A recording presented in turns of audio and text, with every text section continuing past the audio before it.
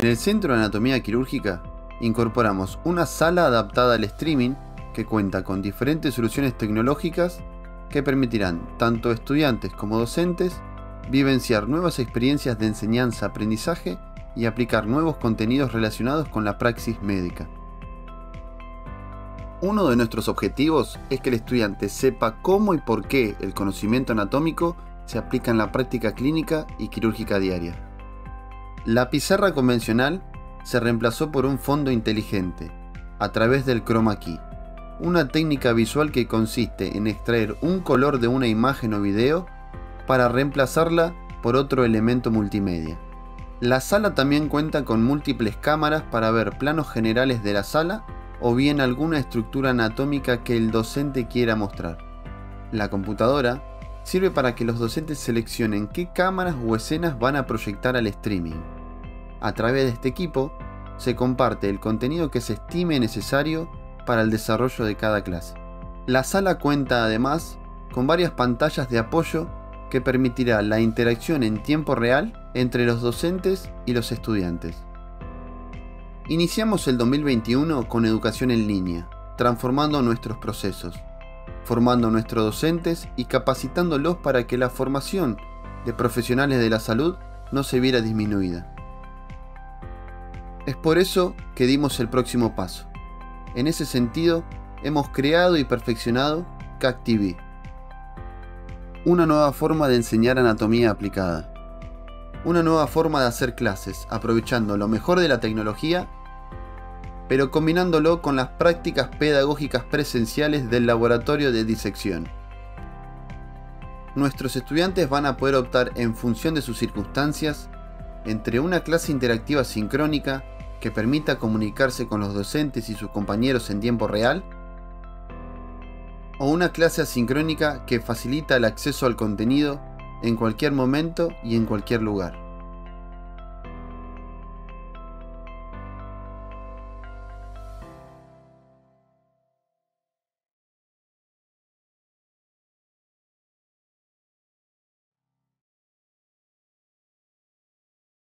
Hola, buenas tardes. Soy Lucía Tomasi, docente de esta cátedra hoy a es de prosencéfalo. Bueno, vamos a comenzar con la charla. yo la titulé Tres historias en común. Te voy a presentar tres historias siguientes que representan, en cierta forma, los déficits que se producen por de las estructuras de la Voy a presentarles el tema, que de por sí ya es extenso y muy interesante. Y a lo largo de la clase les voy a dejar algunas pistas para que vamos al final. Bueno, para ubicarnos en el tema, saber de dónde aparece el prosencéfalo, vamos a hablar brevemente del desarrollo embriológico del neuroeje. Cuando hablo de neuroeje me estoy refiriendo al encéfalo y a la médula espinal del adulto. El neuroeje se origina en el embrión a partir de un tejido especial que se llama ectodermo neural. En el ectodermo neural aparece un surco y una prominencia que recibe el nombre de placa neural y surco neural. En los extremos de esta placa hay un tejido, también del ectodermo neural, que después va a sobresalir y va a formar los pliegues neurales. Esos pliegues neurales separan al ectodermo neural del ectodermo no neural.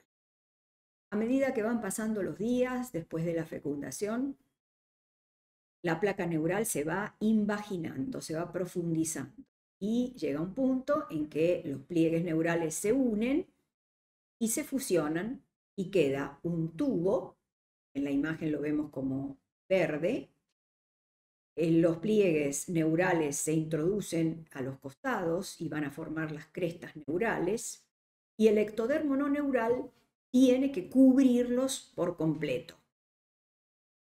Toda esta formación acontece a lo largo de la gestación, de los primeros días de la posteriores a la fecundación, y hay un eje que los guía de un tejido embriológico que se llama notocorda, que en la imagen se ve como un tubo rojo.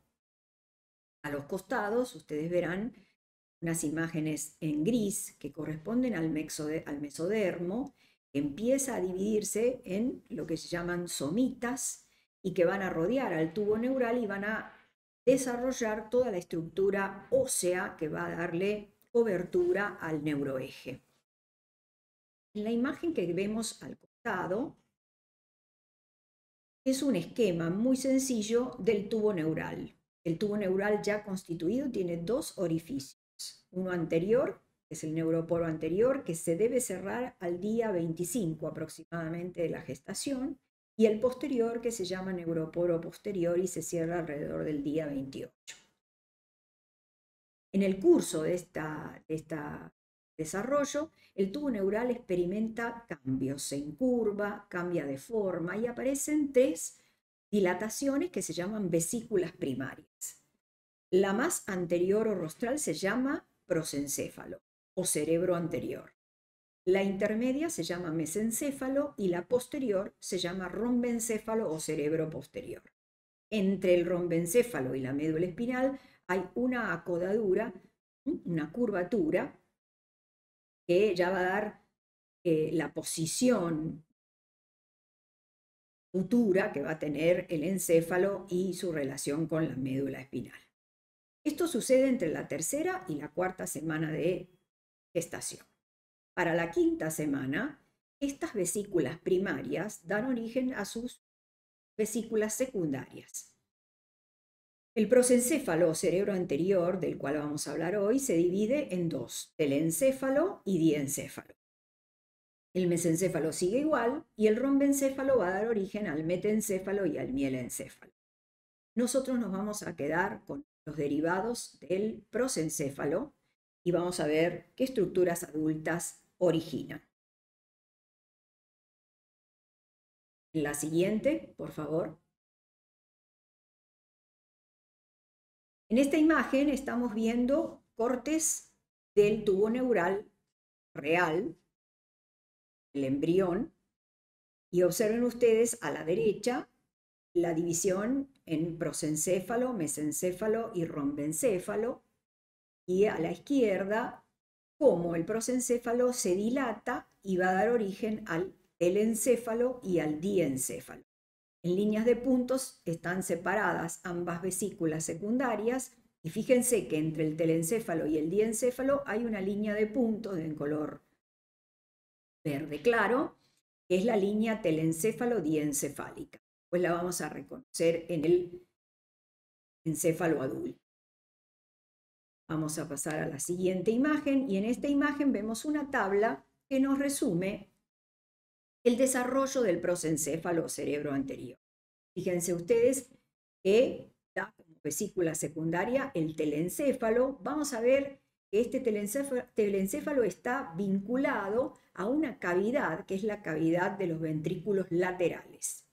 Y los derivados adultos que van a salir de allí son los hemisferios cerebrales y los núcleos basales. Este telencéfalo tiene un par craneal asociado, que es el primer par craneal o nervio olfatorio. Por su parte, el prosencéfalo también originaba otra vesícula impar, que es el diencéfalo, situada en la profundidad del cerebro y en la parte basal. Este diencéfalo está asociado a otra parte del sistema ventricular que recibe el nombre de tercer ventrículo, los derivados adultos del diencéfalo van a ser el tálamo, el epitálamo, el subtálamo y el hipotálamo, que son conjuntos de núcleos que tienen una gran trascendencia en los controles de las funciones corporales. Y el par craneal asociado va a ser el segundo par o nervio óptico. Bueno, con este resumen vamos a empezar a analizar las tres historias que yo les traje el día de hoy para que podamos resolverlas durante la clase y al final de ella. La primera historia que les voy a contar es la historia titulada El accidente del obrero del ferrocarril. Este obrero de ferrocarril fue Phineas Gage. Trabajaba en los Estados Unidos en el ferrocarril y a la edad de 28 años sufrió un grave accidente en medio de una explosión que se produjo en el lugar de trabajo.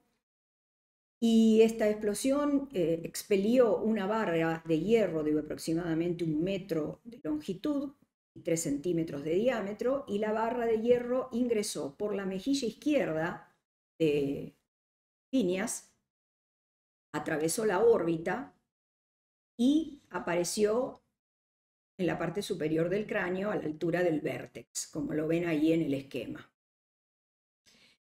Bueno, es evidente que con semejante accidente los daños que recibió el paciente fueron muy severos.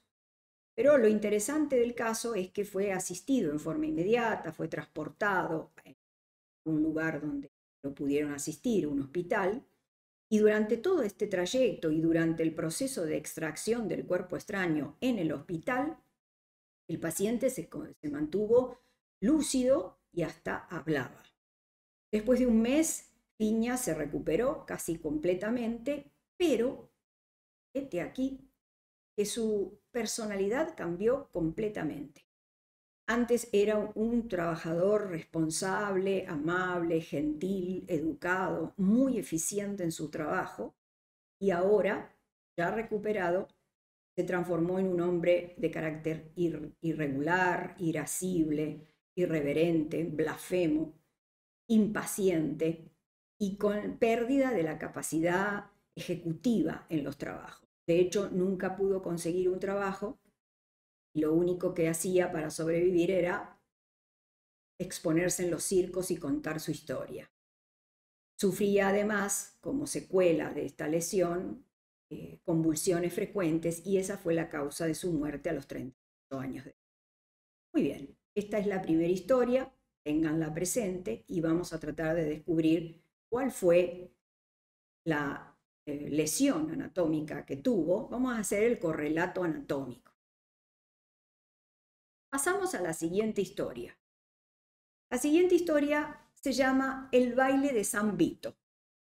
Esto es un fenómeno social que sucedió aproximadamente en los siglos XV a XVII en el centro de Europa y que se caracterizaba porque de pronto en las aldeas comenzaba alguien a hacer movimientos como danzantes y no paraba y no paraba y seguía haciéndolos y recorría la aldea haciendo estos movimientos y lo empezaban a acompañar otras personas y a veces se reunían gran cantidad de personas que no paraban de hacer estos movimientos hasta que caían agotados y luego tenían que ser asistidos. Bueno, esto sucedió en varios lugares de Europa, no solamente en un lugar, ¿no? en distintos lugares. Y eh, fue atribuido a causas psicógenas, a causas tóxicas, infecciosas y a algunas enfermedades neurológicas degenerativas, como por ejemplo la Corea de Huntington. Huntington fue el que la describió. En, en este tipo de, mm, lesión neurológica, los pacientes presentaban movimientos anormales, involuntarios, repetitivos, breves, irregulares, por momentos rápidos que comenzaban en una parte del cuerpo y después pasaban a otra parte y que eh, de manera brusca e inesperada se eh, aparecían y se mantenían en el tiempo. Les permitía movilizarse, pero eran realmente muy incómodos. Ocupaban o, eh, o sucedían en cualquier parte del cuerpo y a medida que iba pasando el tiempo, años, quien padecía esto desarrollaba además postración y demencia. ¿Por qué se llamaba baile de San Vito? Porque parecía un baile y porque Vito había sido un mártir que había sido quemado en la hoguera al, de declararse cristiano y que después fue canonizado y se lo asociaba mucho a las enfermedades neurológicas, la gente lo invocaba para recuperarse, por lo tanto, a este fenómeno lo llamaron el baile de San Vito. Detrás de todo esto hay una lesión anatómica que ustedes van a tener que descubrir a lo largo de la clase. Pasamos a la última historia se llama el gigante de Alton. Es una localidad de Illinois en Estados Unidos donde hace unos años apareció una familia que tuvo un niño llamado Robert o Roberto que nació normalmente, pero empezó a crecer mucho este niño. Y crecía y crecía y seguía creciendo y a los 5 años medía un metro setenta y a los 22 años medía 2 metros 72 y pesaba 222 kilos. Este joven eh, tenía una enfermedad que se llamaba gigantismo, falleció a los 22 años a raíz de una infección en su pierna y mm,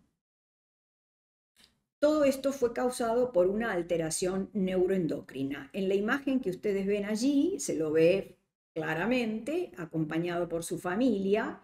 El señor que está abajo a su izquierda es su padre, que medía un metro ochenta y ocho, y el resto son su mamá y sus hermanos.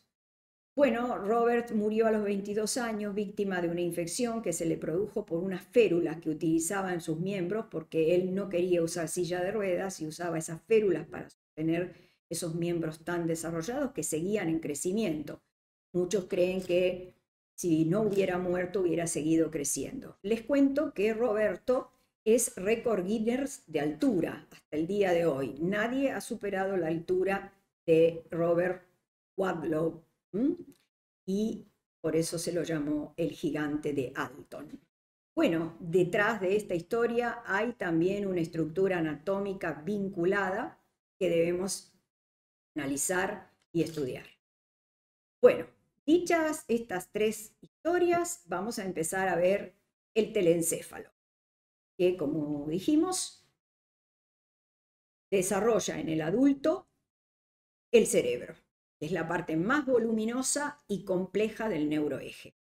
Vamos al preparado y vamos a verlo con un poco más de detalle.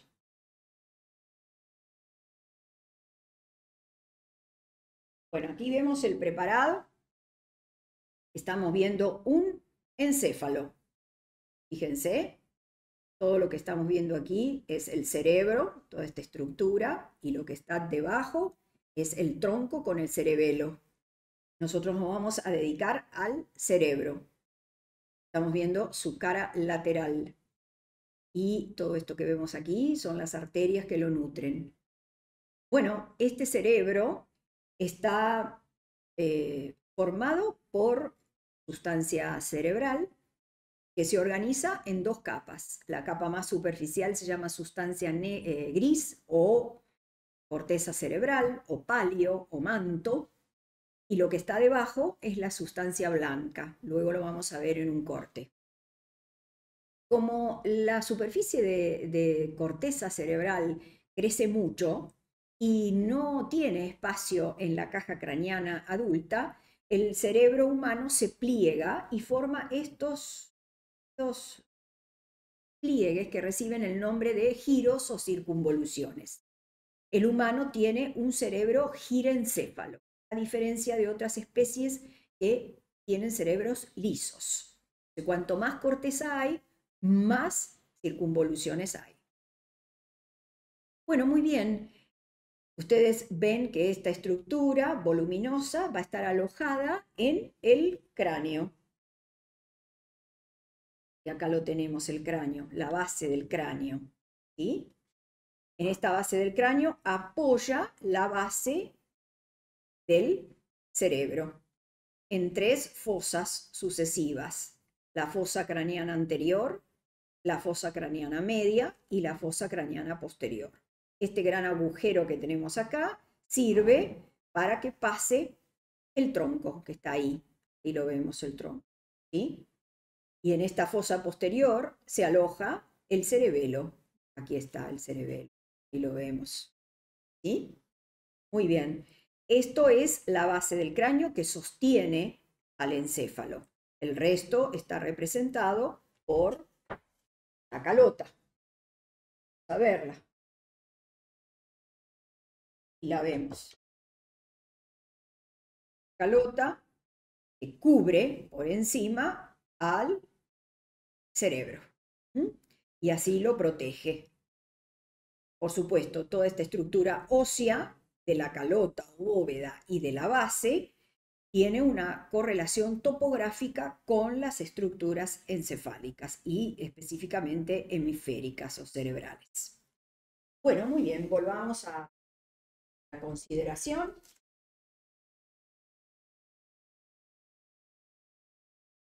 Y vamos a ver en la siguiente diapositiva este corte coronal de una cabeza congelada que nos permite observar en detalle la disposición de la sustancia gris periférica o corteza cerebral o manto y por debajo la sustancia blanca cerebral que se distribuye en las dos mitades que forman el cerebro o hemisferios cerebrales. E incluso muchas de esas em, fibras atraviesan la línea media y conectan un hemisferio cerebral con el otro. Como ustedes notarán, en algunos sectores de la sustancia blanca aparecen zonas de sustancia gris, igual que en la corteza, pero ya no formando láminas, sino formando conglomerados celulares o núcleos. Estos núcleos que ustedes ven acá son los núcleos de la base, que están desarrollados a partir del telencéfalo. ¿sí? El telencéfalo origina el hemisferio cerebral y los núcleos de la base.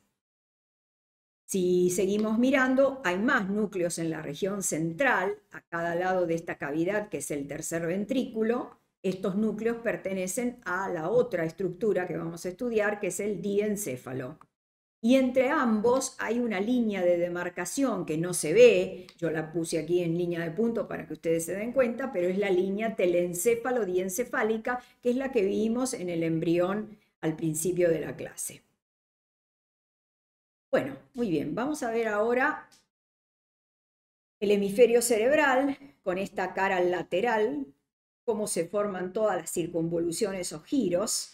Las circunvoluciones están separadas entre sí por, depresiones más o menos profundas que reciben el nombre de surcos, y cuando varias circunvoluciones se juntan, eh, porque tienen concordancia eh, o asociación funcional, forman lo que se llaman los lóbulos. Y los lóbulos están separados por depresiones más profundas que reciben el nombre de cisuras.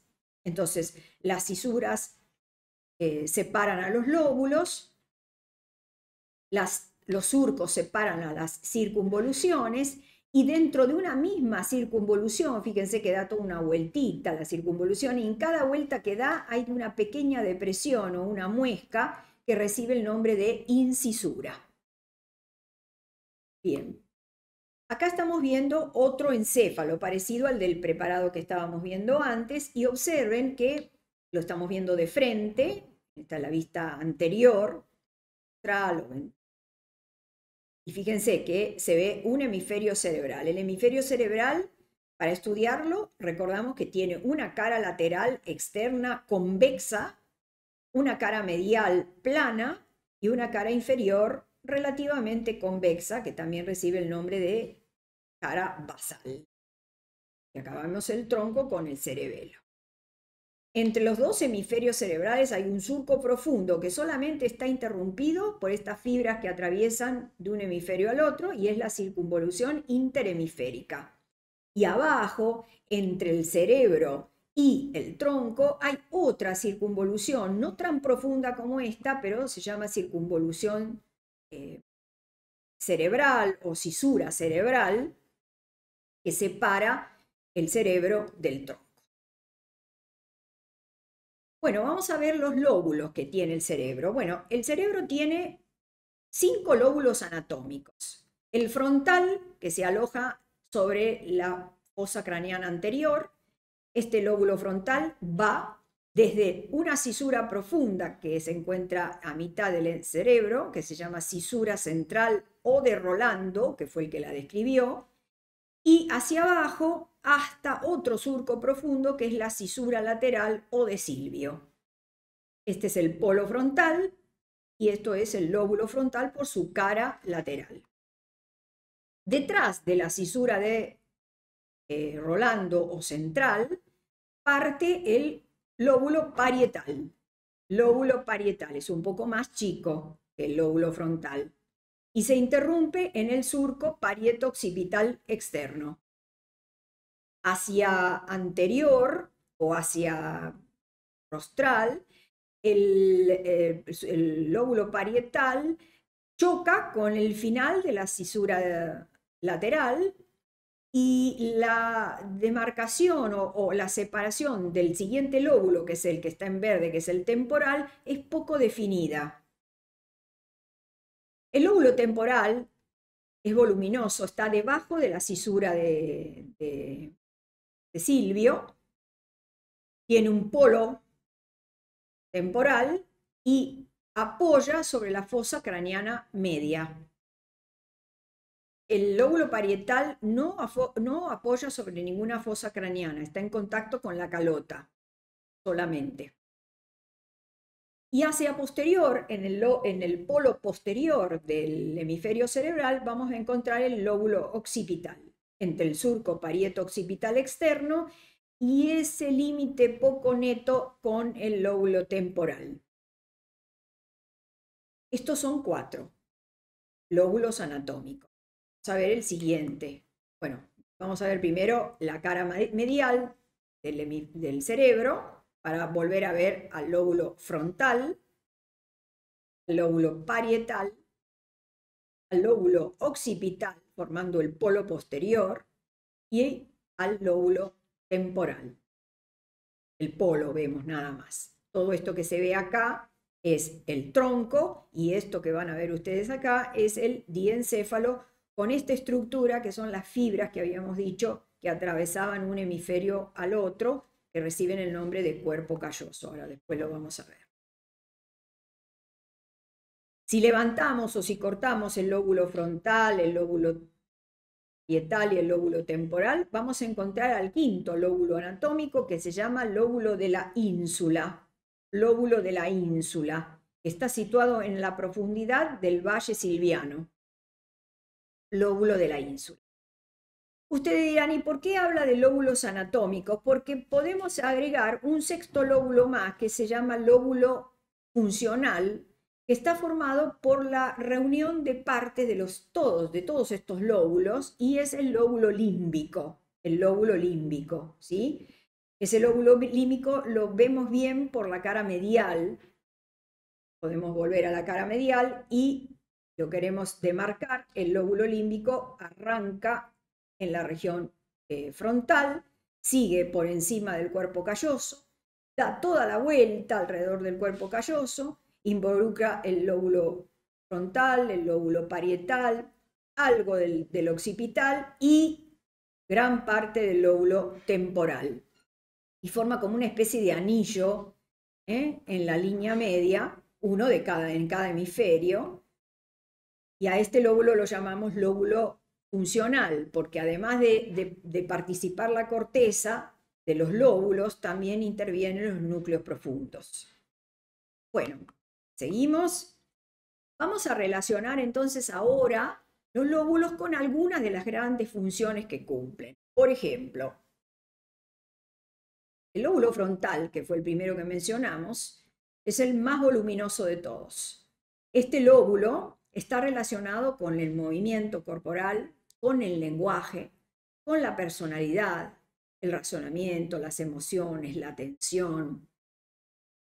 Bien, este es un lóbulo rico en funciones y sobre todo alberga el centro de la personalidad y de las funciones mentales superiores.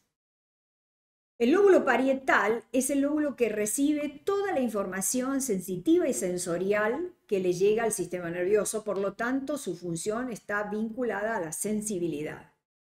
El lóbulo occipital se relaciona con la función de la visión.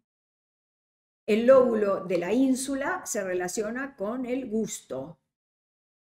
Y el lóbulo temporal, que también es voluminoso, está relacionado con la audición, con la memoria y con el aprendizaje. Este es otro lóbulo que alberga funciones mentales superiores ¿eh? y, y interviene en todos los procesos cognitivos a través de la memoria y del aprendizaje. Bueno, tenemos dos hemisferios, el derecho y el izquierdo. Anatómicamente tienen diferencias, hay diferencias de tamaño y de forma, dependiendo si vemos el lóbulo izquierdo o el lóbulo, derecho.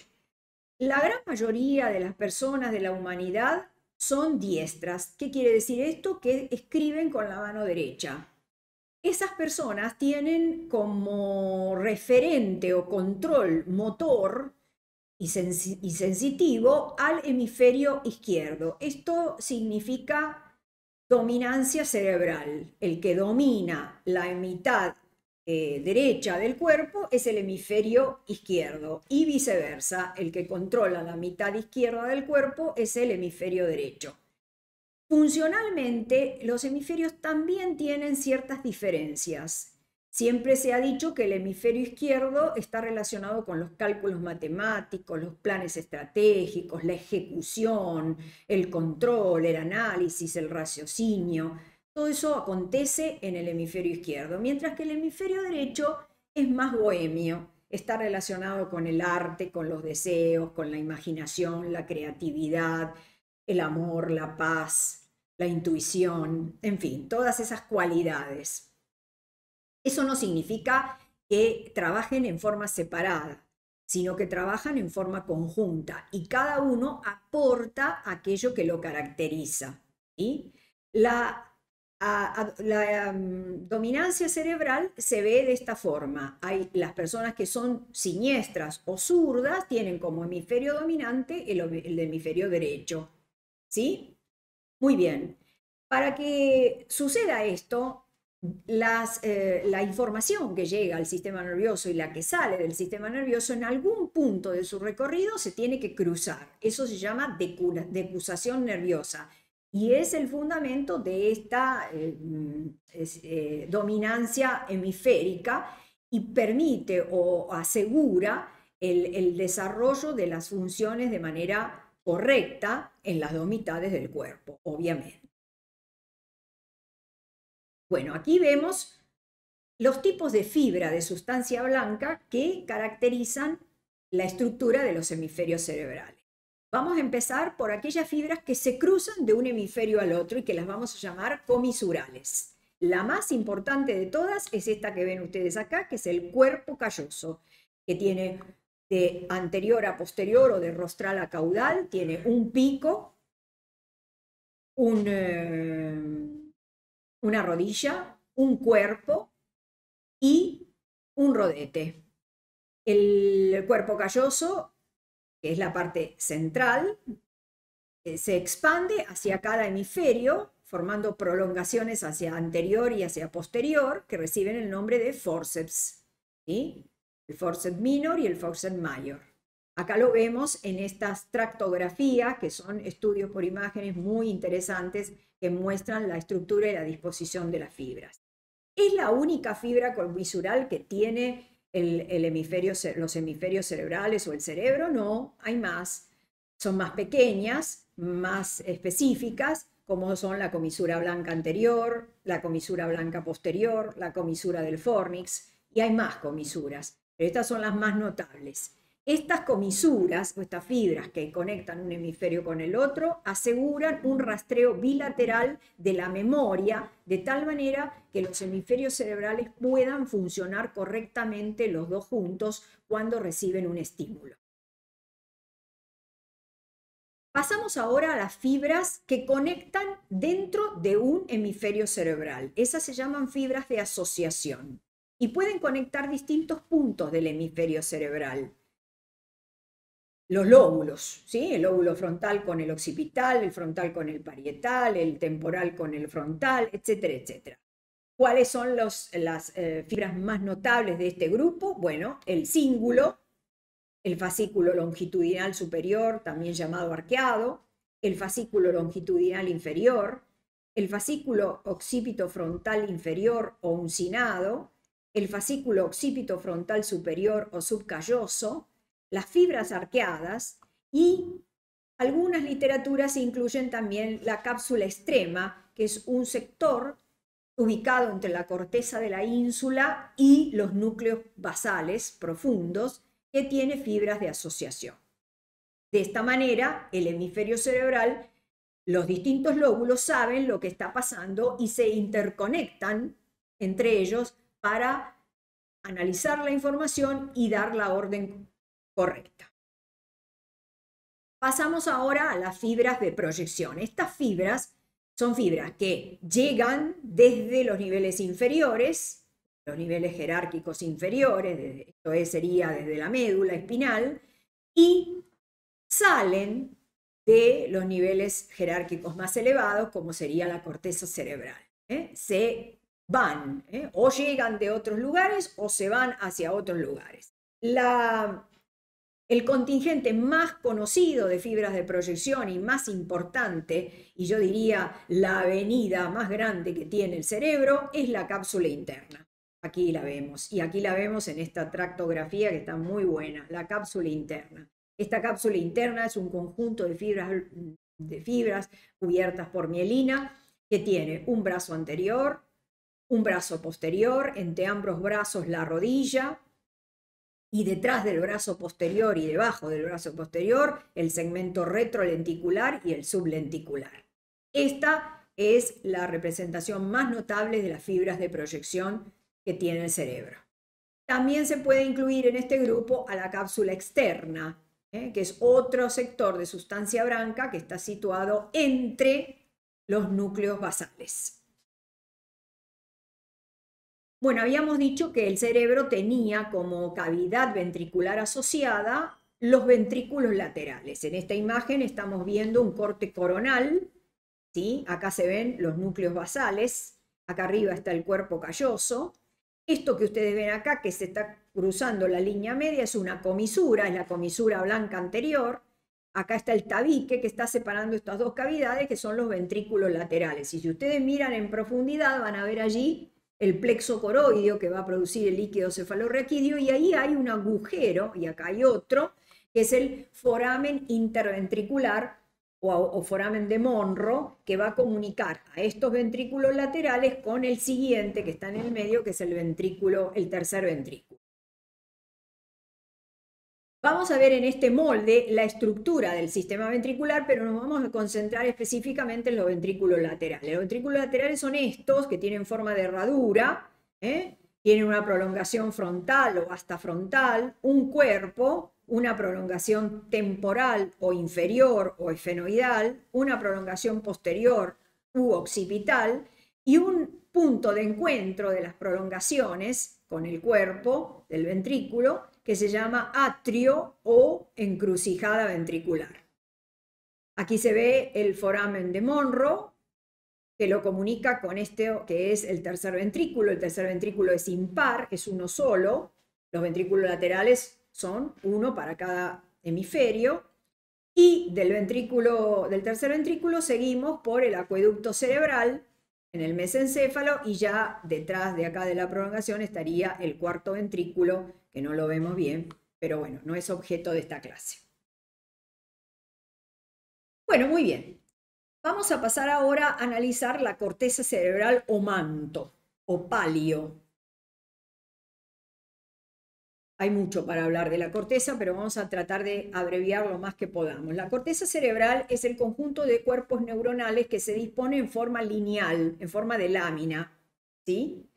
Pero la característica que tiene este, esta, esta lámina de sustancia gris es que dentro de la lámina hay varias capas, varias capas. Y si uno analiza esas capas que tienen diferentes células y toma un sector puntual, ¿eh? una, una, banda vertical, observa que tiene módulos, módulos o columnas celulares. Eh, se cree que la corteza cerebral tiene aproximadamente 4 millones de columnas o módulos. Quiere decir que yo puedo ver a la corteza cerebral en sentido horizontal, pero también la puedo ver en sentido vertical. Y en sentido vertical voy a tener las seis capas celulares. Ahora bien, no toda la corteza tiene seis capas celulares. Hay sectores de corteza que tienen seis capas y hay sectores de corteza que tienen menos capas. Muy bien, empecemos por las cortezas que tienen menos capas, que reciben el nombre de alocorteza. Alocorteza. Esta es la corteza más antigua filogenéticamente. Se la divide y, e intermedia en el estudio, en, el en la evolución filogenética. La más vieja de todas se llama arquicorteza. Esta corteza tiene nada más que tres capas celulares. ¿Y dónde la vamos a encontrar? En el lóbulo límbico, del cual les hablé antes, y este lóbulo es el que está relacionado con la conducta, ¿eh? con las emociones. La siguiente eh, corteza es la paleocorteza, es una corteza que en el tiempo tiene una, una duración intermedia, digamos, esta corteza tiene entre 3 y 5 capas. ¿Y dónde la vemos? En la corteza olfatoria. La corteza olfatoria. Luego sigue la mesocorteza. Esta mesocorteza tiene entre, 6, entre 3 y 6 capas, que son las capas totales, ¿sí? Y es una corteza particular porque sirve de transición entre la corteza vieja y la moderna, que ahora vamos a estudiar. ¿Dónde vamos a encontrar esta mesocorteza?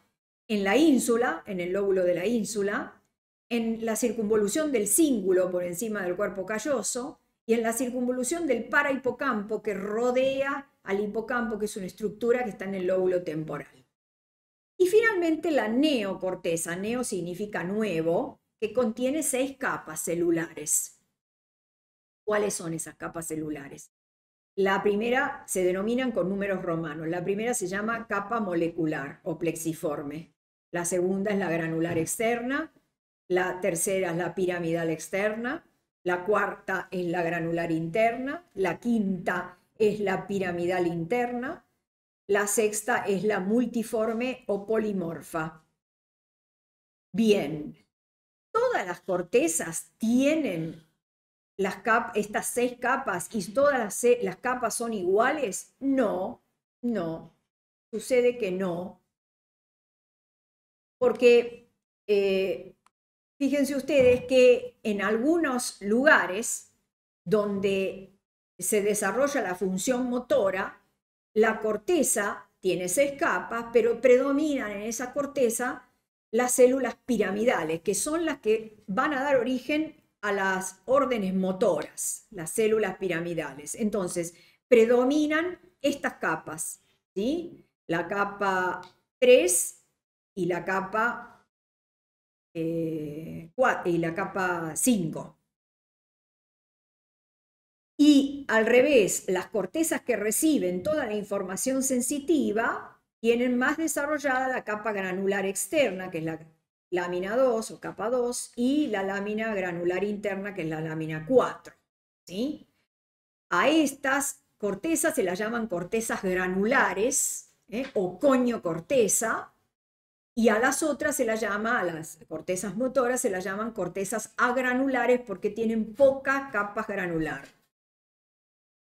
Eh, algunos eh, autores a este tipo de corteza le llaman homotípica, a la que tiene las seis capas, sí, tal cual como se las mencioné, y la heterotípica, que es la que tiene predominio de capa granular o, o capa agranular.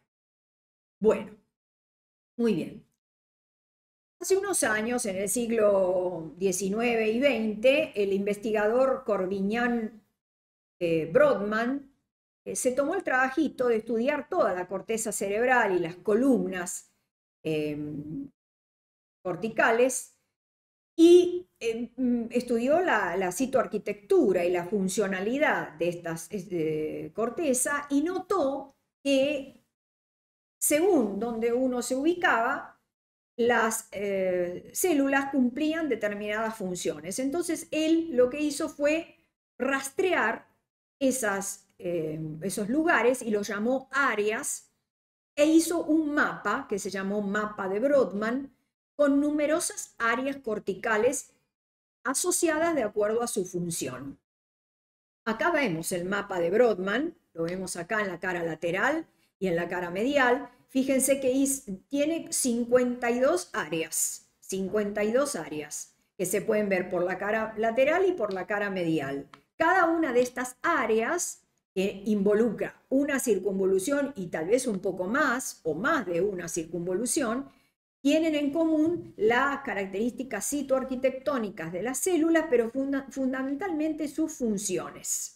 Bueno, es imposible acordarse de todas las, mm, eh, áreas de Brodmann, pero vamos a ver cuáles son las más importantes. En el lóbulo frontal nos encontramos con la corteza motora primaria, que se llama área 4. Es la que está por delante de la cisura central. Se le llama también precentral o prerolántica. La corteza premotora y motora suplementaria es el área 6. La corteza del campo visual frontal es el área 8. La corteza prefrontal es la más anterior o rostral del lóbulo frontal, donde está el polo frontal, y allí, en esa corteza, se llevan a cabo los procesos cognitivos superiores y complejos como la toma de decisiones, el razonamiento, la expresión, la personalidad. Se le llama allí a esas áreas centro de la personalidad, son las áreas 9 y, las, y el área 10. Si nosotros nos vamos para, para atrás, acá las tenemos. 9 y 10. Esta es la 4, esta es la 6 y esta es la 8. Por supuesto hay otras más, pero estas son las más trascendentes. ¿Sí? Bueno, seguimos. En el lóbulo parietal tenemos la corteza somatosensitiva primaria, es el área 312 o 123, en realidad se menciona 312. Esta es el área que recibe toda la información sensitiva que llega al sistema nervioso. La corteza de asociación somatosensitiva, las áreas 5 y 7, el giro angular y el giro supramarginal, que son las áreas 39 y 40, son áreas muy importantes porque ahí van a ver ustedes que se producen asociaciones muy interesantes y compresión de la información que llega. En el lóbulo temporal tenemos la corteza auditiva primaria, que es el área 41 y 42, la corteza auditiva secundaria, el área 22. Estas áreas sí conviene recordarlas, ¿sí? Memorizarlas. En el lóbulo occipital, la corteza visual primaria, área 17, la corteza visual secundaria, área 18 y la corteza de asociación visual, área 19. Y ustedes dirán, ¿qué significa corteza primaria, secundaria y de asociación? bueno, vamos a poner un ejemplo. Yo estoy viendo, eh, por ejemplo, eh, una flor unas flores muy bonitas, ¿sí? Pero la veo. De repente me levanto una mañana y en la macetita donde había puesto una plantita salieron las flores. La representación de la flor va a ir a la corteza primaria. La apreciación de texturas de la flor va a ir a la corteza secundaria. Es decir, yo me voy a dar cuenta el color de la flor, la característica de los pétalos, si, si son aterciopeladas, si no son. En fin, esos detalles de textura lo da la corteza secundaria. Y la corteza de asociación me va a permitir recordar si vi alguna vez alguna flor similar, recordar si alguna vez esa flor eh, eh, intervino en algo que me emocionó o que me puso triste. Entonces todo eso lo va a hacer la corteza de asociación. Esto es similar para cualquier modalidad sensorial o sensitiva. Siempre va a haber una corteza primaria, una secundaria y la de asociación. La primaria eh, registra el, estímulo, la secundaria le da las características eh, em, morfológicas y espaciales y la de asociación le otorga el componente emocional. Bueno, ¿cuáles áreas especiales se tienen que acordar ustedes? Dos muy importantes. El área de Wernicke, que son el área 22, 39 y 40, que es la comprensión del lenguaje, y el área de Broca, el área 44 y 45, donde está el componente motor del habla. ¿Sí? Estas dos áreas son muy importantes, Broca y Wernicke, y las van a estudiar en el futuro. Bueno, dejamos el cerebro, hay mucho más para decir, pero nos vamos ahora a los núcleos de la base. Bueno, los núcleos de la base son núcleos grises encargados de la conducta motora y ojo, conducta motora extrapiramidal, eh, la conducta motora no la que controlaba el, cerebro, que era la conducta motora voluntaria, sino que la conducta motora eh, involuntaria o extrapiramidal, también intervienen en la cognición, en las funciones mentales superiores, incluyendo el aprendizaje. ¿Sí? Muy bien. ¿Cómo están formados estos núcleos de la base? Bueno, en este modelo tridimensional vamos a ver el tronco encefálico y esto que está en el cerebro. Esto que está en, rojo es el núcleo caudado. Al costado vamos a tener el núcleo putamen. Por dentro del putamen y debajo del caudado, esto que está en azul, que es el núcleo globo pálido, que tiene dos partes, lateral y medial. Y el último componente es la amígdala, esto que está en blanco. ¿Sí?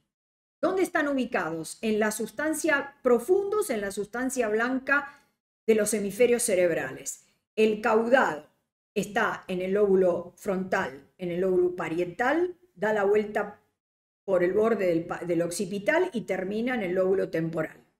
El putamen ocupa el lóbulo frontal y parietal y es vecino del lóbulo de la ínsula. El lobo pálido está profundo en relación al putamen y la amígdala está en el lóbulo temporal. Esta es una vista superior para que veamos la característica del, núcleo caudado, que tiene una forma como de herradura. Sigue debajo de los ventrículos laterales. Parecería que copia el molde del ventrículo lateral y se conecta muchísimo con el núcleo putamen a través de estos puentes de sustancia gris, ¿eh? que se llaman fibras putamino-caudadas, que en realidad no son fibras, es sustancia gris que conecta a los dos núcleos. Estos dos núcleos son los más nuevos de los núcleos basales, ¿sí? Y se llaman estriado dorsal. ¿Por qué le llaman estriado dorsal? Porque en los cortes macroscópicos se ve sustancia gris por arriba, sustancia gris por abajo y puentes de sustancia blanca. Y por eso se le llama estriado. El que lo describió le, impresionó que era una, una imagen estriada. Entonces, a esto se le llama también cuerpo estriado, a los núcleos de la base. Y a estos dos juntos, que son los más nuevos, se le llama estriado dorsal. El putamen y el caudado en su porción rostral y, basal, eh, ventral, digamos, en la parte anterior y ventral, están unidos también por un puente de sustancia gris que se llama núcleo accumbens y a esto se le llama estriado ventral, en oposición a esto que era el estriado dorsal. Mientras que el estriado dorsal está relacionado con la función motora, el estriado ventral está relacionado con la conducta. Bueno, acá los vemos, a los núcleos, pero sucede que eh, estos núcleos, estos núcleos basales, están asociados con otros núcleos que no pertenecen al prosencéfalo. Algunos, son dos. Uno es la sustancia nigra mesencefálica, que la ven acá en este corte del mesencéfalo, que es una estructura del, del tronco. ¿Sí? Mesencéfalo, sustancia negra. ¿Sí? Y esta otra estructura que pertenece al prosencéfalo, pero no al telencéfalo, sino al diencéfalo, que es el núcleo subtalámico. El núcleo subtalámico más la sustancia negra se asocian funcionalmente con el putamen, con el globo pálido y con el caudado. Y todo eso constituye eh, una unidad funcional eh, que eh, controla los movimientos y que influye mucho en, las acciones motoras. Bueno, acá vemos este corte histológico con tinción para células y acá están demarcados los núcleos basales. Fíjense, el caudado el cuerpo del caudado, el núcleo subtalámico, la sustancia negra. La sustancia negra tiene dos porciones, la porción compacta y la porción reticular. Y acá el putamen, el globo pálido externo y el interno. El putamen con el globo pálido forman una estructura bastante acoplada que recibe el nombre de núcleo lenticular macroscópicamente. O fuera de ellos hay una columna de sustancia gris que recibe el nombre de antemuro o claustro. Esto también está incluido como núcleo basal. Y después viene la ínsula, la corteza de la ínsula. Entre la ínsula y el, y el, y el claustro está la cápsula extrema, y entre el claustro y el putamen o lenticular está la cápsula externa de la que ya habíamos hablado. Bueno, ¿esto solo forma los núcleos basales? Sí, esto es lo macroscópico y lo anatómico, pero estos núcleos están rodeados de sustancia blanca. Y una sustancia blanca que acá ya eh, van y vienen, es como las grandes avenidas, entran por un lado, salen por el otro. Entonces, acá hay zonas muy eh, complicadas y complejas en las inmediaciones de estos núcleos, en la base de estos núcleos, que reciben el nombre de sustancia innominada. Sustancia innominada. Esta sustancia innominada es toda sustancia blanca con algunos núcleos grises, que incluye fibras que van desde la amígdala hacia adelante, hacia el cuerpo estriado ventral y hacia el hipotálamo, que ahora lo vamos a estudiar además de otros núcleos grises que son dependientes del prosencéfalo, que se llaman núcleos prosencefálicos basales, ¿eh? que están situados en la base y el límite posterior del lóbulo frontal y algunos en el lóbulo temporal. Ya, esto le va agregando complejidad a la cosa, pero todo esto tiene mucho que ver con las connotaciones emocionales y conductuales. Bueno, ¿cómo se eh, conectan los núcleos basales entre sí? Por fibras. Hay vías facilitadoras, ¿eh? como la vía directa, y hay vías inhibidoras. ¿Qué significa facilitadoras e inhibidoras? Bueno, ustedes saben que la corteza cerebral va a dar la orden, ¿sí? Pero esa orden que desciende va a estar en cierto grado modificada por los núcleos que están abajo, que son subcorticales. Para que la corteza se entere de todo eso, tiene que llegarle información. La información viene, entra por la médula, sube por el tronco y va a llegar a un lugar, que ahora lo vamos a estudiar, que se llama tálamo. Y el tálamo es el filtro. ¿Eh? Este, el tálamo dice, esto entra y esto no entra, o entra modificado. Entonces, si uno tiene que controlar lo que llega a la corteza cerebral, el, centro que hay que controlar es el tálamo. Entonces, los núcleos de la base lo que hacen es controlar al tálamo. Algunos este, lo, inhiben y facilitan la acción de la corteza y otros lo estimulan e inhiben la acción de la corteza. Por eso hablamos de vías directas y de vías indirectas. Y hay algunas vías que son moduladoras de los propios núcleos de la base y esa vía sale de la sustancia negra del mesencéfalo y del subtálamo de estos dos núcleos que no pertenecían al telecéfalo, pero que se asociaban a ello. Bueno, eh, ustedes saben que las células nerviosas se conectan por sinapsis y las sinapsis más importantes que hay en el sistema nervioso son las químicas, donde se libera una sustancia que se llama neurotransmisor.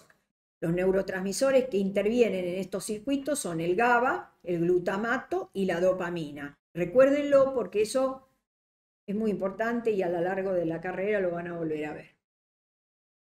Bueno, esto es un esquema que después en todo caso lo va a quedar seguramente y les sugiero que lo registren porque es un esquema que muestra toda la interconexión que tiene la corteza cerebral con los núcleos basales y con el estriado, con el cuerpo estriado.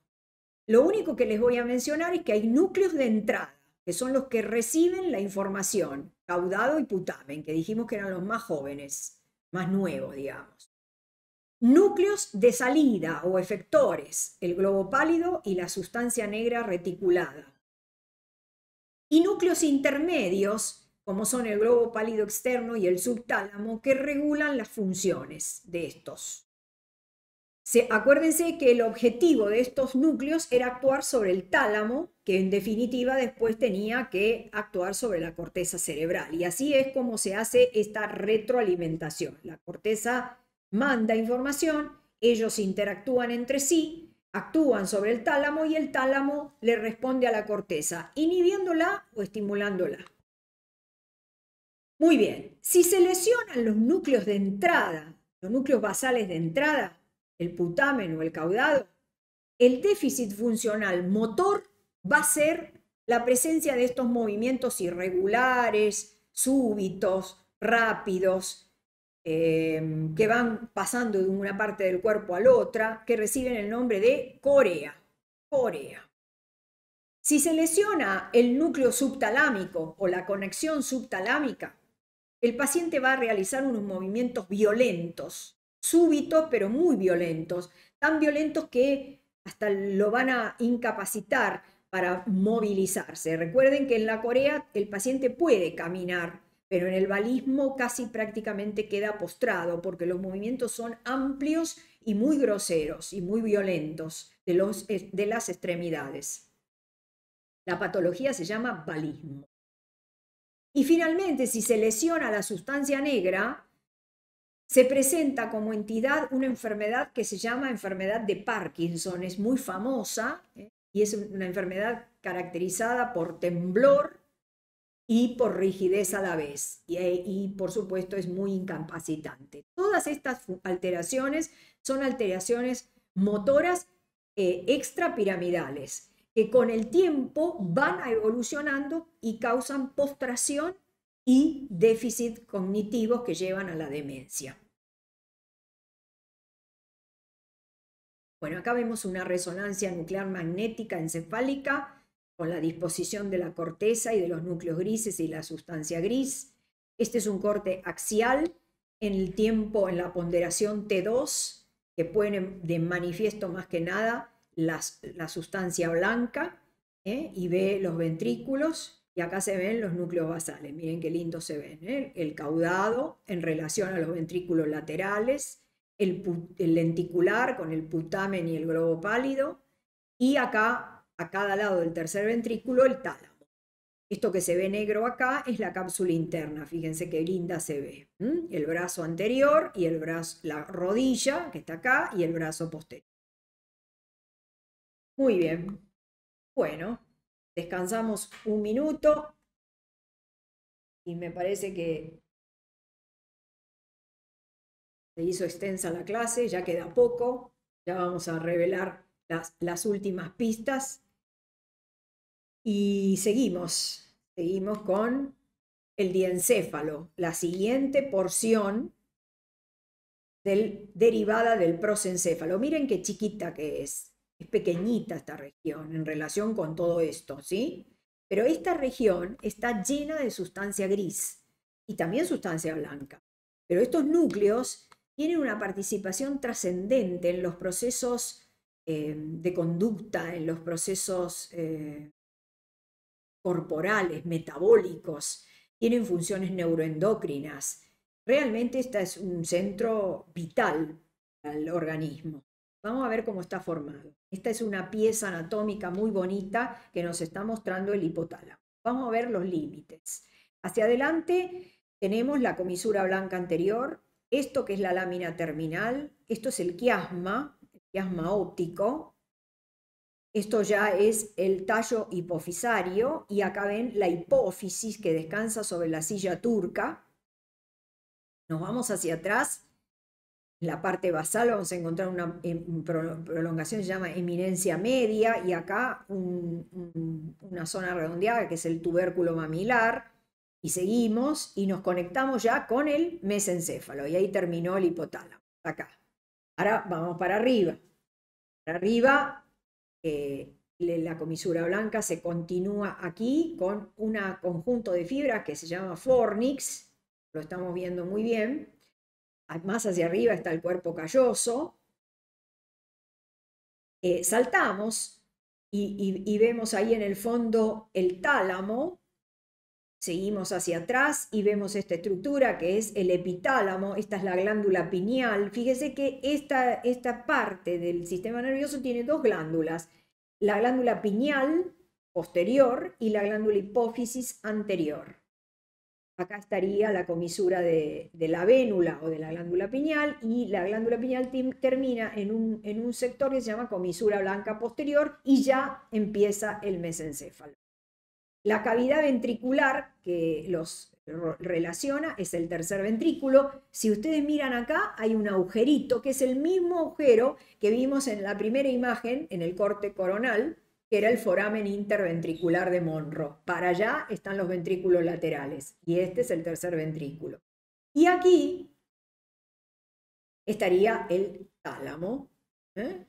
el hipotálamo, el epitálamo y inferior y posterior al tálamo, el subtálamo. Bueno, vamos a ver el tálamo. El tálamo es la parte más voluminosa del diencéfalo. Son dos núcleos que tienen 4 centímetros de diámetro y tienen la forma de una pelota de béisbol y están alineados de manera tal que los em, polos anteriores de los tálamos se aproximan y los polos posteriores se alejan. A cada lado de las caras mediales de los tálamos está el tercer ventrículo.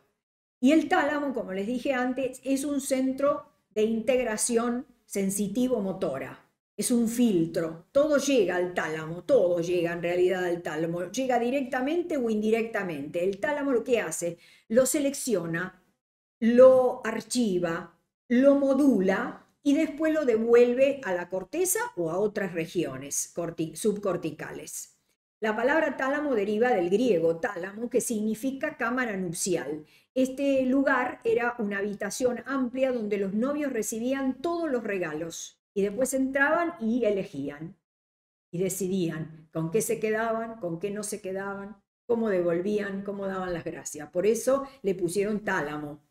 Está formado por numerosos núcleos, que no los voy a mencionar porque se van a gustear mucho, pero son unos cuantos. Son grupos nucleares que están separados por sustancia blanca que se llama la lámina medular interna. Y hay uno solo que está fuera del tálamo que se llama núcleo reticular, que está vinculado al tálamo. Bueno, eh, de, todos estos núcleos les voy a mencionar los cuerpos geniculados, lateral y medial, que están vinculados con la vía eh, visual y la vía eh, auditiva, el pulvinar con la vía auditiva, en los núcleos anteriores del tálamo, los, los intralaminares, los dorsales laterales, todos estos que están relacionados con funciones viscerales y conducta, y los núcleos ventrales, que, están, que son los que recepcionan todas las vías de la sensibilidad. Dejamos el tálamo y pasamos al subtálamo. Es muy chiquitito el subtálamo, es un núcleo que se llama cuerpo de Lewis, pero no está solo, está acompañado por una serie de, de elementos de sustancia gris y sobre todo sustancia blanca que lo rodea y lo cubre. El subtálamo se relaciona con los núcleos de la base y con algunos núcleos del tálamo. Y su vinculación lo hace a través de fibras que van saliendo de los distintos núcleos basales. Aquí tienen un listado de todas las fibras que conectan al núcleo subtalámico con el cuerpo estriado y con el tálamo.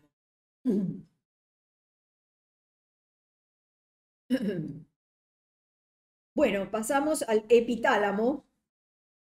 Es un centro de control neuroendocrino. Está formado por la glándula pineal, esta glándula es muy chiquitita, pero la verdad es que se la considera el reloj biológico del cuerpo. Tiene características cronobiológicas.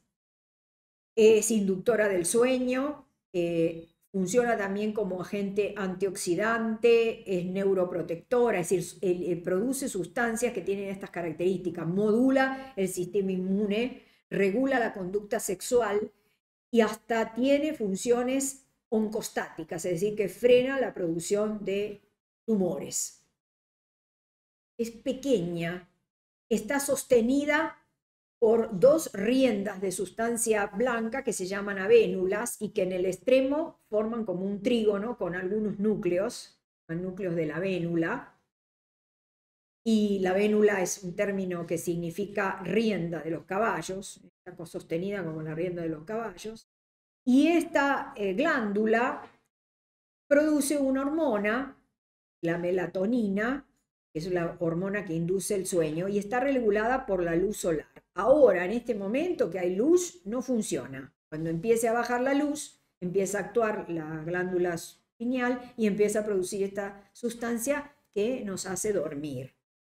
Recibe información la, glándula pineal de los núcleos septales, de los núcleos del hipotálamo, del tálamo y del globo pálido. Fíjense, el contingente de fibras que llega a la glándula pineal se llama estría medular Ténganlo en cuenta porque hay varias estrías. ¿eh? Está la estría terminal de la amígdala, la estría medular, la estría talámica.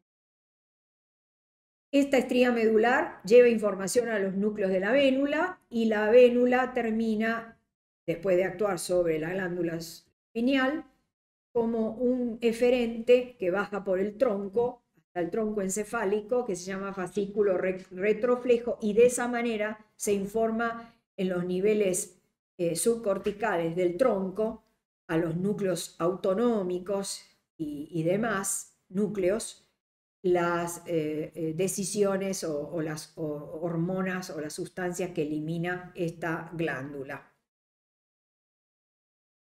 si uno invierte el sueño, por ejemplo, a la noche se pone a trabajar y de día duerme, se le complica la vida a la glándula pineal, porque no está acostumbrada a esas cosas.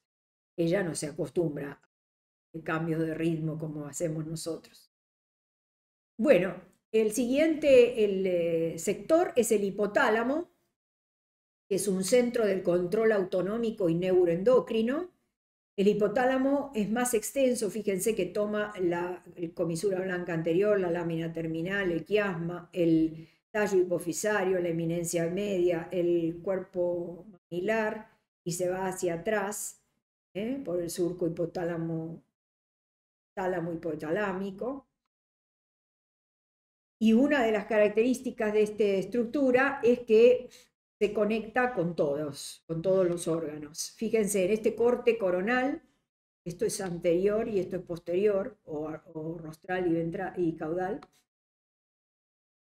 El tálamo, el hipotálamo lo podemos dividir en el área preóptica, en, una, en un área, en un sector medial y en un sector lateral sector lateral y un sector medial. En el medio está el tercer ventrículo. El sector medial, a ver, dijimos que el hipotálamo estaba relacionado con la función autonómica. Y la función autonómica es el, el, sistema nervioso autónomo, que ustedes ya habrán sabido que se divide en simpático y parasimpático. Si bien no hay núcleos específicos en el hipotálamo que digan este es un núcleo simpático y este es un núcleo parasimpático, se ha asociado, porque se ha visto que es así, a la región caudal y lateral, caudal y lateral, con la función simpática y a la función rostral y medial con la función parasimpática. ¿Eh? Muy bien. Este es un corte longitudinal verlo mejor al, hipotálamo. Acá vemos la comisura blanca anterior, el quiasma, el tallo de la hipófisis, el cuerpo mamilar. Vemos el fornix postcomisural que eh, separa el hipotálamo lateral del hipotálamo medial y la gran cantidad de núcleos que albergan las distintas regiones, la región preóptica, la región eh, tuberal, en la región mamilar. ¿eh? Muy bien. Vamos a dar mención especial a la glándula hipófisis, que es la glándula más conocida. Esta glándula está formada por el lóbulo, dos, tiene dos lóbulos, el lóbulo anterior y el lóbulo posterior. El lóbulo posterior viene del hipotálamo directamente a través del tallo hipofisario. El lóbulo anterior se origina en el ectodermo del estomodeo, de la boca primitiva. Es una invaginación que recibe el nombre de bolsa de raque, que migra y que se va a pegar al lóbulo posterior.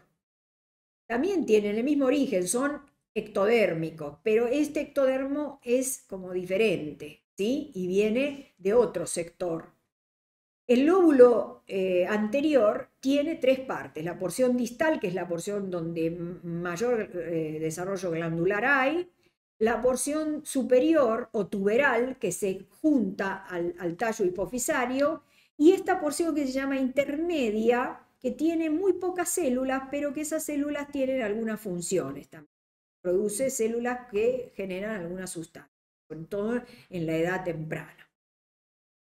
¿Qué características tiene la adenohipófisis? Bueno, está formada por células variadas que producen hormonas, pero no las producen solas, las producen por indicación del hipotálamo.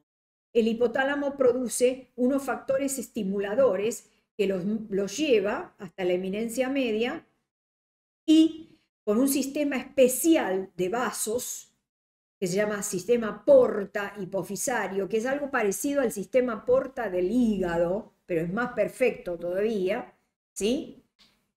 Eh, se captan estos factores liberadores del hipotálamo, los bajan a la región distal de la adenohipófisis, los liberan, estimulan a las células y después salen el producto que hicieron, lo que fabricaron estas células.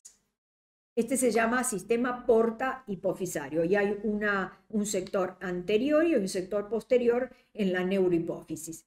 La neurohipófisis no, o lóbulo posterior, no produce eh, hormonas, sino que las recibe de esta región, que es la región periventricular, y son producidas en el hipotálamo y son conducidas también por este medio sistema al, lóbulo posterior y del lóbulo posterior por este sistema portal pasan a la circulación general.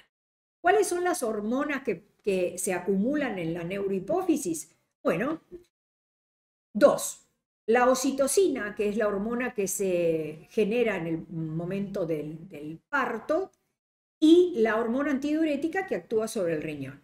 Son producidas en el hipotálamo depositadas en la neurohipófisis y pasan a la circulación general. ¿Cuáles son las hormonas que produce la adenohipófisis bajo la estimulación del hipotálamo? Bueno, son unas cuantas. Ahora las vemos. Bueno, acá tenemos una linda imagen de la hipófisis con sus dos lóbulos, el posterior y el anterior, y el anterior con las tres partes. Eh, antiguamente se la llamaba glándula pituitaria porque se creía que producía moco, porque como estaba situada sobre la silla turca, los antiguos consideraban, anatomistas, consideraban que, tenía, producía moco, por eso la pituita significa moco y por eso se la llamaba o se la llama todavía glándula pituitaria. Se ubica sobre la silla turca que está en el dorso del cuerpo del lefenoides se relaciona estrechamente con el quiasma óptico. Miren, acá tienen el quiasma. Quiere decir que cualquier alteración de la glándula se va a ir para arriba, va a comprimir el quiasma óptico. Bueno, ya le dije que tiene dos lóbulos. Es una glándula de secreción interna, produce numerosas hormonas ¿eh? y pertenece al diencéfalo. Acá ven un corte de la adenohipófisis. Miren qué lindo se ven los vasos y acá se ven los distintos tipos celulares. Estas son las células acidófilas, que son las que más trabajan. Estas son las células basófilas. Y estas son las cromófobas, que no se tiñen. Estas no trabajan mucho. Pero estas sí. Y producen seis tipos de hormonas. La TSH, hormona que eh, estimula la función de la glándula, eh, glándula tiroides la ACTH, que estimula la producción de la glándula eh, adrenal, la MSH, que es la hormona que produce eh, la, aumenta la pigmentación cutánea, la melanocortina se le llama también, la somatotrofina u hormona de crecimiento, esta es la hormona que produce la hipófisis en las primeras etapas de la vida para que crezcan el esqueleto. en sentido longitudinal hasta que se cierran los cartílagos de crecimiento. Cuando el cartílago de crecimiento se cierra, si la hipófisis empieza a producir por exceso esta hormona, el hueso en vez de crecer en longitud, crece en ancho y puede producir en los dos casos patología. Cuando crece en longitud va a generar el gigantismo. Bueno, después están las hormonas gonadales, que son la folículo estimulante y la luteinizante, que actúan sobre las gónadas, y finalmente la prolactina, que es la hormona que actúa sobre la glándula mamaria. ¿eh? Seis hormonas que se liberan por el sistema porta hipofisario. Bueno, el hipotálamo en su conjunto recibe información, esto es lo que se ve en verde, de diferentes lugares, del globo pálido, del tálamo, de la corteza, de la amígdala, del hipocampo, del rinencéfalo o corteza olfatoria y del mesencéfalo y manda información eferente por cuatro vías. La vía que va hacia la hipófisis, que conduce la hormona antidiurética y oxitocina, la vía que baja al tronco y es la que va a regular el sistema autónomo y se llama vía autónoma principal o fascículo prosencefálico medial, la vía eh, también autonómica que actúa específicamente sobre los núcleos del vago y, del, y del, eh, los núcleos que tienen el componente visceral general, que es el eh, fascículo longitudinal dorsal, y eh, la vía que conecta el hipotálamo con el tegmento mesencefálico y que también tiene mucho que ver con las conductas y la regulación autonómica de las vías Em, sensoriales, específicamente la vía auditiva. Bueno, ya estamos en condiciones de, resolver los tres casos. Ya di las pistas y supongo que para este momento ustedes ya las tendrán, la tendrán bien clara. En el caso del accidente del obrero del ferrocarril, el señor Phineas, la lesión que provocó esa vara de hierro fue la lesión de los lóbulos frontales y específicamente de la región prefrontal, que dijimos que tenía las áreas o centro de la personalidad. Por eso, al, lesionarse los dos lóbulos frontales, que fue la lesión que provocó esta, vara, esta barra de hierro, el paciente quedó como liberado ¿eh? y su personalidad se transformó completamente. De ser un hombre ordenado, respetuoso y amable, se transformó en un hombre desordenado, incapaz para hacer actividades motoras, eh, sin perder la posibilidad de hablar y de caminar, pero con una gran alteración de las funciones mentales superiores por compromiso de las áreas prefrontales.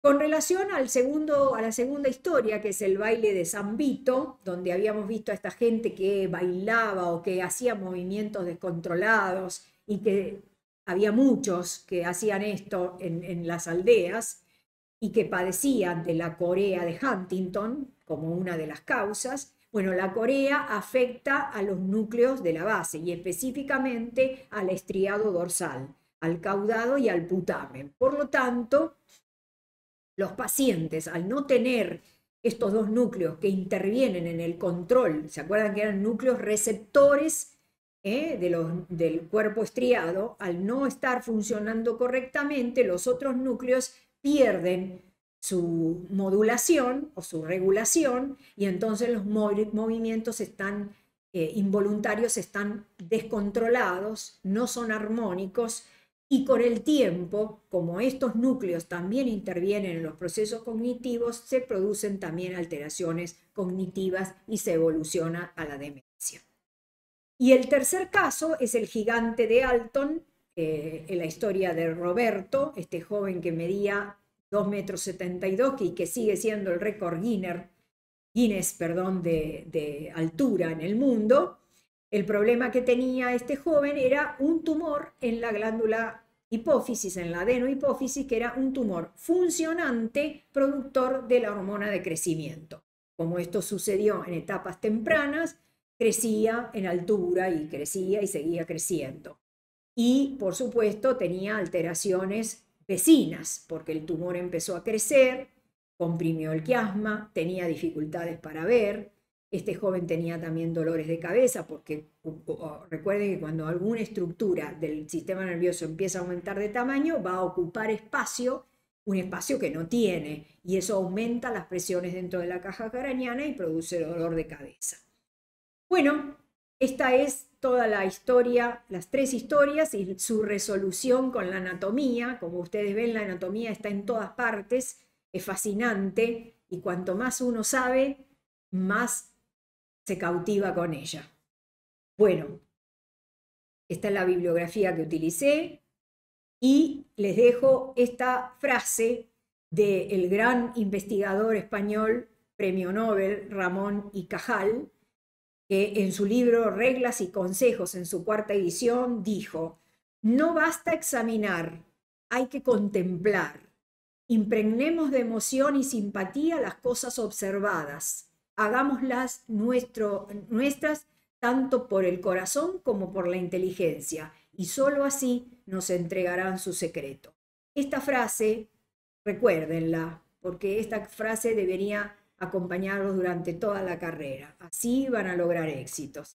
Bueno, que lo disfruten.